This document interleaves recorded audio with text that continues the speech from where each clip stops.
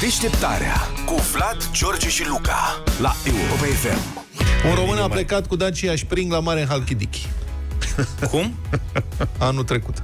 Nu mai zi o dată. Nu anul trecut. A plecat? Un român a plecat cu Dacia Spring la mare în Halkidiki. În Halkidiki. Am înțeles la Marea Halkidiki. Dar și care zic- treaba? Eu nu dau, îmi dau seama acum. Eu nu trebuie să strig ca să mă auzi. Tu, tu ai un buton de volum. Dă-ți mai tare. Ai zis repede. O să Da, vă- auzit, am auzit, dar nu bine. Dacă și eu vorbesc repede. Acum ai fost foarte rapid. E plin, înțelegi? Da. Că și-a făcut plinul slavă Domnului în dimineața asta Da, și vezi la, că- când e plin... Hai să ne concentrăm. Deci un domn cu Dacia Spring, proprietar, a Da. plecat la mare. Și în curajos. Halkidiki și curajos. Și a ajuns? Și primul meu gând a fost, deci a găsit platformă. a mers? Nu, nu, nu, a mers. Deci, băi, sună tot, a- și a povestit după aceea pe Facebook, nu, tot respect, omul chiar, noi, noi suntem, știți că suntem răi, felicitări, domnul Mihai Evu a plecat cu Dacia și a împărtășit colegilor de pe Facebook cum a făcut. Adică sună ca un experiment de la începutul zborurilor cu avionul, știi? Când aveai de aia. A reușit să traverseze Carpații. Odată, doar n-a mai reușit. Dar, mă rog, băi, a încercat, a încercat. Deci asta, așa avansăm încet, încet. Bun, până la Sofia, 390 de kilometri, că a lucrat în etape.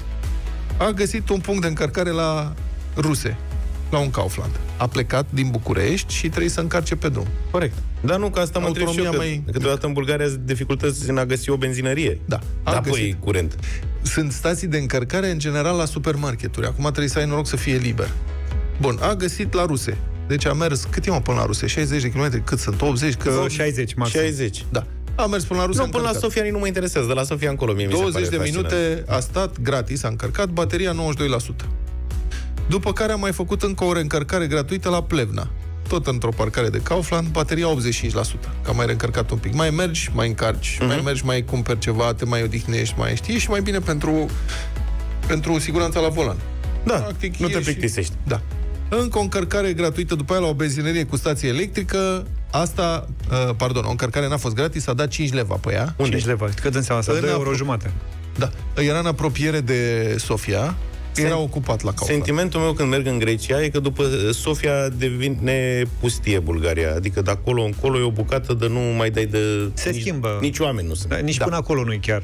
Și cu asta s-a cazat la Sofia o noapte. N-am mai Adică re- a obosit. A, da, da, da. N-a mai putut.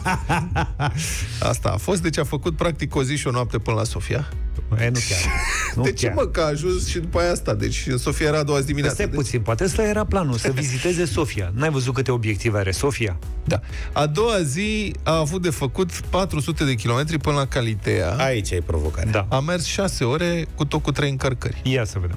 Și s-a cazat, ce? A făcut trei încărcări. Omul pe la diverse N-am vrut să mai supermarketuri. spună unde. Și aici s-a, l-am s-a pierdut. cazat un, lângă un Lidl cu încărcare rapidă. Credem că aici a fost tractat. Păi ăștia 600 Nu de cred, nu, kilometri nu cred, A mers nu. la ștangă. Nu mă, n-am mai spus eu. El a zis, deci mai merge, trebuie să-ți plănuiești. Asta este diferența. Deci cum, mai ții minte cum vorbeam noi zilele trecute de mozviciu bunicului? Da.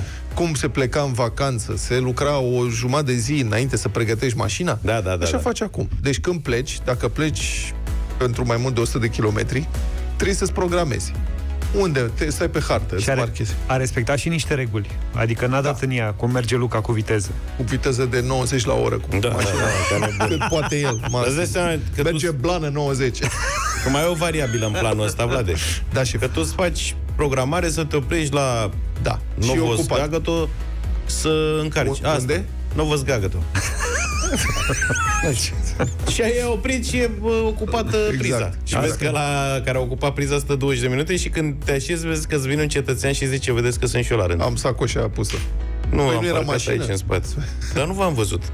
Da. Domnule, vă rog frumos. Da. Și atunci tu știi că ai de stat o oră jumate și n-ai variantă. Acolo stai. Băi, paranteză, apropo, m-am dus într-o zi, era mașina super murdară. Plec și este o benzinărie, benzinăria de bogați, aia de la capăt de la Pipera de acolo. Așa. Și are și uh, spălătorie. Tot de bogați. Și m-am oprit, am plătit un bonuleț să trec la Peri, automat. Nu te-ai repede dus la aia merge. de lângă care e de miliardari. Nu, Perii de bogați. Peri de bogați, da. Și am plătit la casă, mi-a dat bonulețul, zic și cum fac. Păi și merge și ok. Vedeți. Am, in- mă uitasem inițial, nu era nicio mașină în așteptare. Era doar unul înăuntru. Mhm. Și că mă pun la coadă, mă trezesc cu cinci taximetriști lângă mine. Alo, șeful, păi și noi stăm la coadă. Unde stați, domnule? Păi uite-ne aici. Și ne arată, erau în parcare, stăteau de vorbă, înțelegi? Păi, colegule, dar eu de unde să știu? Nu, tăticule, păi, Păi, dar noi stăm aici. Ea și, de află. și decât să mă bat cu cinci taximetriști odată, am zis, hai că am plecat. Și asta a fost. M-am dus la Păi, vezi? revedere, papa. Da. Bă, da, ce tupeu, frate, pe ei, Ce tupeu? înțelegi? Păi cum ce tupeu, mă, dacă vrei să stai la... Erau la spăl- coadă, că doar nu crezi că făceau stație în benzinărie. Ei stăteau în parcare, mă, băiatule. Că Eu știu. Nu, să nu blocheze accesul.